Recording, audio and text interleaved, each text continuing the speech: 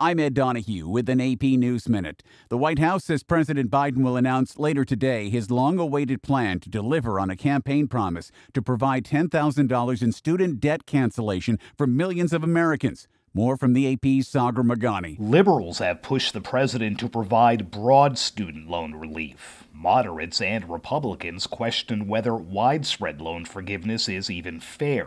Democrats are betting a loan relief announcement will motivate younger voters come November's midterm elections. The president is also set to extend a pause on federal student loan payments through the end of this year. A congressional investigation found officials in the Trump White House tried to pressure health experts into reauthorizing a discredited coronavirus treatment, hydroxychloroquine. It provides new evidence of that administration's efforts to override Food and Drug Administration decisions early on in the pandemic.